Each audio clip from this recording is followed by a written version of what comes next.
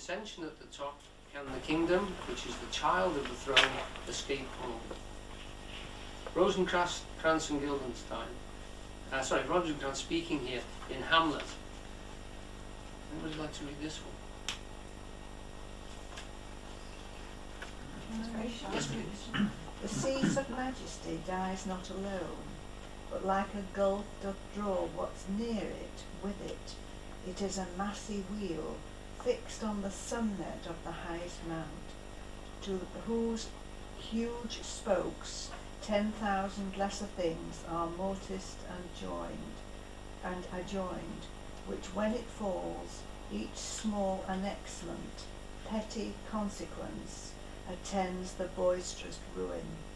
Never alone did the king sigh, but with a general groan.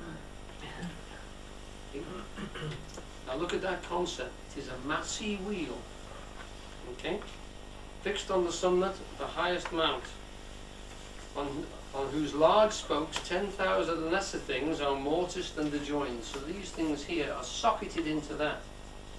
This spinning, which we said before, this swastika image of the rolling, if we put arrows on here, you can see it spinning a bit better. If you put those on there, that's the massy wheel. It's the spinning, and all these thousands of little body parts here, or the little cells inside the body, or the planets inside the universe, are all paying service to the central pinion point.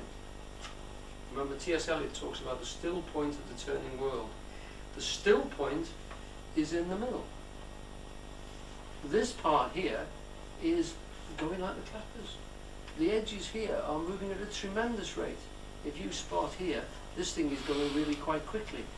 As you go in towards the center, the speed is slowing down and down and down. And at the center point, it's still, and it's just revolving. So the still point of the turning wheel is exactly the same reference point we're talking about here. The central point, the governance here, is the actual fixed point of the massy wheel on whose huge spokes 10,000 lesser things are mortised and adjoined, which when it falls, if this centre does not hold, if the centre cannot hold, everything breaks up. So the governance is terribly important in that sense, is what Shakespeare is saying here. And it's so important that, you know, we have to literally support it, but at the same time um, moderate it constantly. The kingdom is the mirror of its king. We cannot examine either without conjuring the image of the other. The monarch initiates the change, which models his substantial state from moment to moment. The substance opposes that change because it, in it, it is in its nature inert, resistant, referring the status quo, in the resistance of the realm, the flesh, the royal will is proved, made manifest, retained. When I was talking to Eugene about yoga, he said to me that the body is resistance. In fact, the word body means resistance in its original form. He said, when you say cloth has body, you mean it resists you. If it doesn't resist you, it's negligible. In fact, a lady's negligee is a negligible, non-resistant, non-body of cloth. It's very light. When we say something has body, we mean it has weight and substance, and it resists effort. When you're doing yoga, you're moving a resistant body. You're making it pliant to you, literally bending. You're bending it in, and rebending it in different directions. You're forming it into, by the nature of your will, and holding it into a place. So you're taking resistance and changing the nature of that resistance. You're working with your own substantial resistance all the time. So you're organizing your body politic. You're governing it gently, listening to it, because you have to consider that that body is actually intelligent. And remember, Eugene considered that the body was very, very ancient. Because your body's never died. You got it from your mum and dad, and they got it from your grandfather and your grandmother and your grandfather. And it's been alive all that time. It never died. It's never gone. It didn't go to the grave with your with your parents and your grandparents and your great grandparents. It's been alive all the time. So the information in it is extremely intelligent. It's patterned with sophisticated intelligence. Every time you blink your eyes, you're remembering the fact that we came out of the sea and we needed water to keep our vision moist. So you still do that every now and again when your eyes get dry. So this body has, has got ancient patterning in it. So you listen to it very sensitively, but you still control it. Okay? So this is body written out, and that's got more body than a single sheet. So body literally means resistance. So you've got your own resistance here. You've got your own kingdom, your earthly little planet here, your little earth. We see the realm as the orb or sphere the king holds in his hand. It is a symbol in little of the great globe of the earth itself. Shakespeare the- Shakespeare's theatre of operation is also a globe, consciously so called.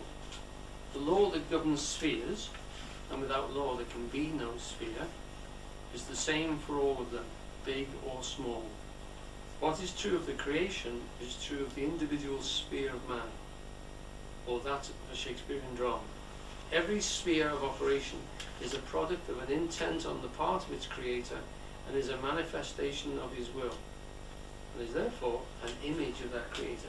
That's the same as saying that the king holding that in being, generating it in the first place, is actually separating this guarded place, this garden, like the Garden of Eden, from a wilderness of nothing or other people or other tiny uh, wills, etc., who have separated themselves off in different places or to do different things, whether these are tiny little kexies and, and things and um, briar patches or desert places.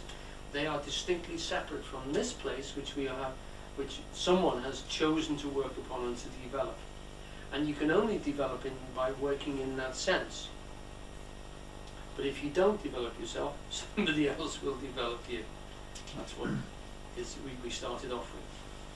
As we have observed, each sphere has its particular genius, the unique development intent encapsulated in it from the beginning. In the sphere of a particular Shakespearean drama, its title gives the clue to the intent encapsulated therein. Thus, we look upon Richard II as a sphere of operation in which its chief protagonist displays his character and problems, and really your character is written in problems, within a specific historical context, and amid a host of other historical characters. That is one view. But it is much more rewarding to look upon the eponymous hero as the whole sphere himself, the containing integument within, the, with, with, within which the play takes place. Then your Mowbray, your Hereford, John of Gaunt, and Northumberland become parts or aspects of Richard's own character. The king himself is the play. The war is within himself. Every occurrence and function is that of his own being.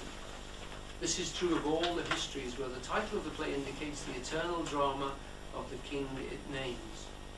This king is thus an archetypal aspect of human hierarchical behavior to be explored and developed. Okay? What exactly do you mean by archetypal know, function the, of the king?